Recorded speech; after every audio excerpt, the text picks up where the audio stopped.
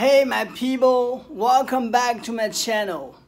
If you are the first viewers of my YouTube channel, you are welcome.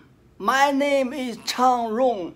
I'm a martial artist. I'm based in New York City.